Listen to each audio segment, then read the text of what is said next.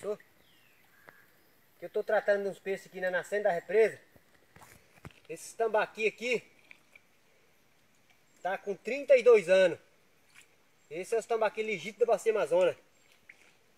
Esse tambaqui aqui eu tenho uma história com eles. Aqui eu tô numa nascente da represa. A represa aqui na nascente dá uns 2 metros de fundura. A nascente é toda preservada.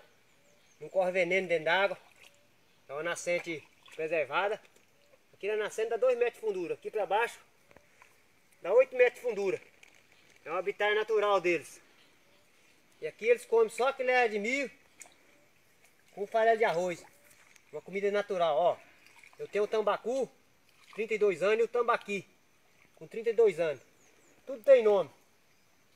É chuvisco, é menina, é amarelinho, é vovô, é fininho, é piá, é guri, é pintado, é bulica, é vovó, é belinha, é negão, é cinzento.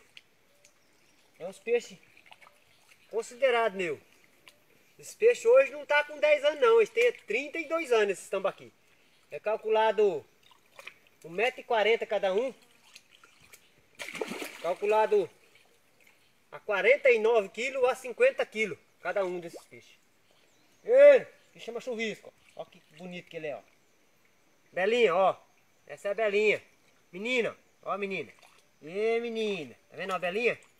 Eles comem assim, só na mão, igual vocês estão vendo aqui, ó. Ó. Visto? Zoinho. Cá, zoinho. Ele chama zoinha. Ele. Que é negão. Um tambacu velho que eu tenho. Negão. Ixi, que dele tão feio, negão. Amarelinho. Ei! Amarelinho. Olha o chuvisco, ó. Sobe, chuvisco. Chuvisco, danado. Você puxou a cama bem pertinho? Tá. Os peixes eu tenho uma história com eles.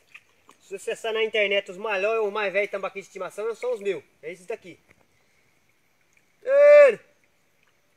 Tambaqui tem muita inteligência. E o bicho, para ficar manso assim, ó, você tem que gostar da criação. Se não gostar do bicho, ele não come na sua mão assim, ó. Vendo? Ó. Deixa eu ver o dentro do meu peixão, ó. Ó. Tem que gostar do bicho, ó. ó. O bicho sabe quem gosta dele. Você tá vendo como é que a água tem lambari? Porque a água é limpa. É saudável. Então um homem hoje para viver bem, ele tem que respeitar no, os bichos, respeitar a natureza respeitar onde que os bichos vivem. O homem tem que respeitar as beiras d'água, respeitar a nascente, respeitar a terra, respeitar o sol e a lua, e respeitar o, os animais. E tudo que está abaixo dele, o homem tem que respeitar. Ele.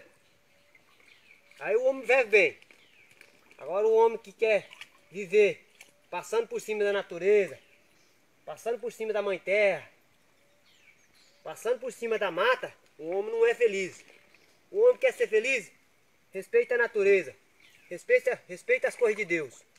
Ei, é assim o homem feliz. Ó. Nira. Ó. Ei, tá vendo? O homem tem que respeitar as coisas de Deus. Tá? Esses peixes aqui pra mim é a mesma coisa de uma família pra mim.